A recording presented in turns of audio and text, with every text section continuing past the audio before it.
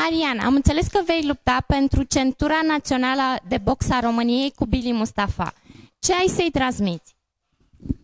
Billy, te așteptăm aici lângă echipa ta. Vreau să-ți arăt că până mă pregătesc până în ultima, în ultima zi, până la gală, și dar nu mai ești aici.